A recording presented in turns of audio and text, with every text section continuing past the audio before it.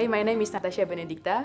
I'm a degree student from BA in Design and Media, and I'm the first batch of NAFA Talent Development Program. Uh, so my name is Jen, and I am BA Fine Art Program, and I'm the first batch of the NAFA Talent Development Program. Uh, my name is Han Thi So. I'm diploma student in fashion design. I'm from second batch of NAFA Talent Development Program. My name is Jeff Labung Kai. I'm from Diploma in Design, Major and Spatial Programs. I'm second batch of NAFA Talent Development Programs. I am Nicholas So. I study Diploma in Advertising and I am a member of the second batch of the NAFA Talent Development Program. Yes, I'm so excited for graduation. After graduation, we have to go uh, real world of fashion business. So I'm so excited about graduation. I spend most of the time in the workshop and studios. So we always brainstorming and consulting in the studio and doing prototyping in the workshops. For my internship, I went to VML Y&R, which is a marketing and advertising agency that focuses on using technology to connect to brands. Throughout my internship, I learned how to function in a professional environment and how to drive myself to be more creative.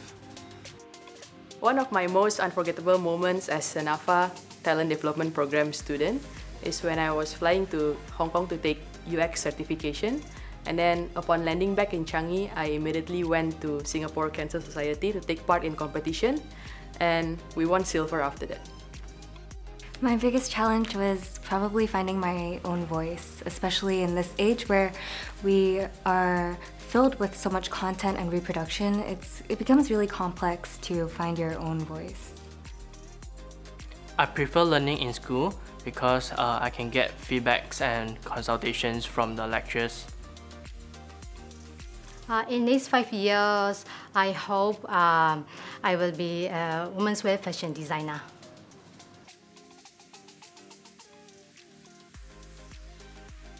Um, go with the flow. I think find a pace that is comfortable for yourself and keep on pushing on. During NTDP mentoring sessions, I have a very supportive mentor who knows me as an individual. So she knows very much my weaknesses and my strength and how to build from it. My mentor helped to smooth out my schedule and help me focus more on upgrading my skill set and attending higher level competitions to drive my creativity forward. I've always found joy in sharing knowledge to my peers through some sharing sessions that I've done in NAFA for the past two years.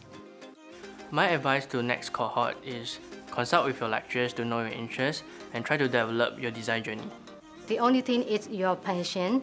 Uh, in that program, uh, the lecturers and mentors will guide you uh, to get the right way.